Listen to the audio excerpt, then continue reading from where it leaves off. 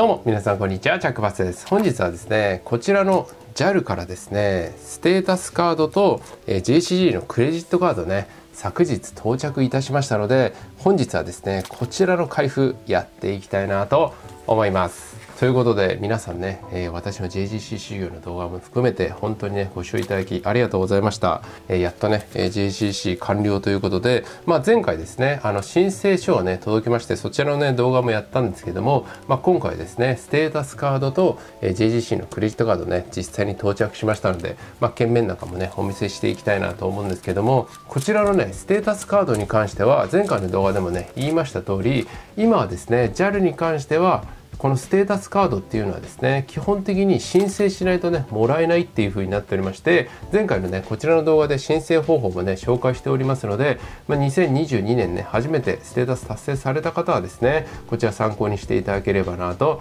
思います。まあ基本的にはですね国内線だけでね利用される方はこのね JAL のステータスねアプリで表示できますので、まあ、それで問題ないと思うんですけども個人的にはですね海外路線の、えー、ワンワールドのねラウンジ利用されたい方ですねまあ JAL じゃないあのワンワールドのねラウンジ利用されたい場合は、まあ、私はね ANA の時にあったんですけども ANA の、ね、ステータスカードのあのアプリ表示ね見せてその後ね物理カード見せてくださいって言われたこともありますんで、まあ、国際線利用される方はですね一応ね保険的にね持っていただけたらなと思います。これね現地でその物理カード見せろって言われて持ってないってなった時にね、まあ、入れればいいんですけどねこれで入れなかったらね、まあ、結構積みますんでねまあ個人的にはね持っといた方がいいのではないのかなと思います。で前回の動画でですね JGC 授業完了した後にですね封筒が届きまして JAL グローバルクラブの入会書ですね届きました。あれが大体ねえ動画出てるの11月の17日っていう風になるわけなんですけども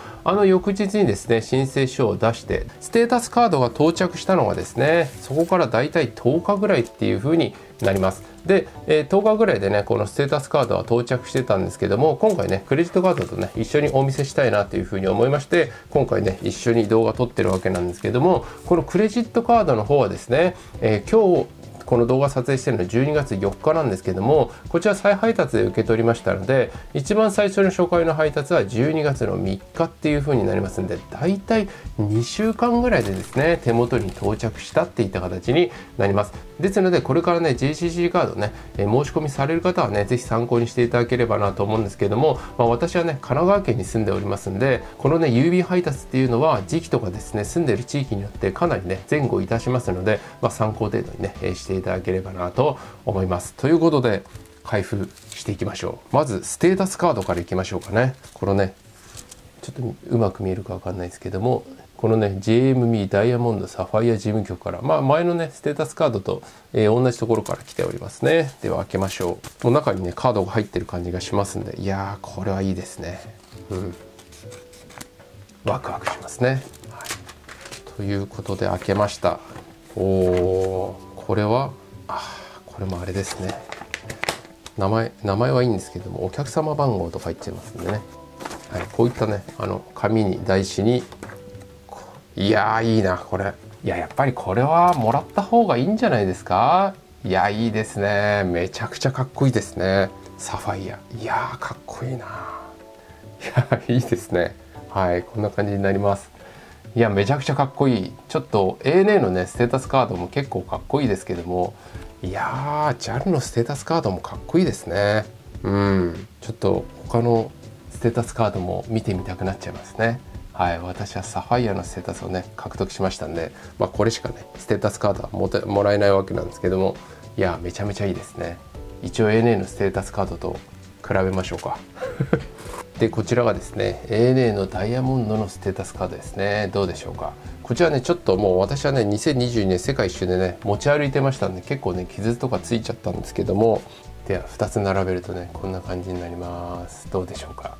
いやいいですね。うん、皆さんどっちが好みでしょうか？やどっちもいいですね。はい。まあこっちはねダイヤモンドでこっちはサファイアなんでねまたちょっとねあの種類が違いますけども。いやー JAL のねステータスカードもめちゃくちゃかっこいいですね。いやこれはねテンション上がりますね。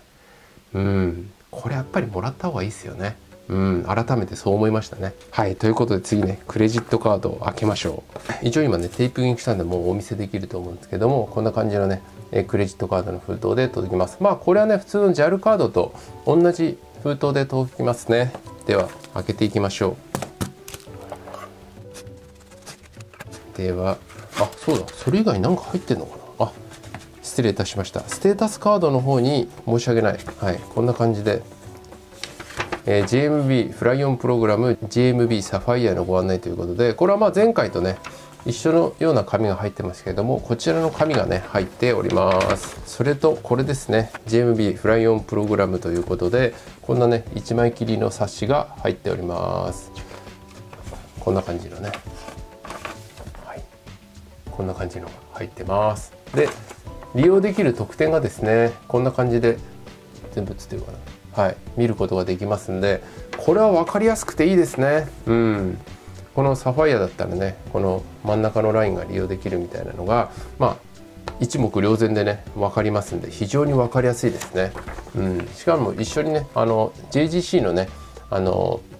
特典とかもね一緒に見れるようになってますんで非常に分かりやすいですね。まあ、特典に関してはですね、前回の動画でやりましたので、今回はね、詳しくね、やりませんけども、こういった紙がね、入っております。では、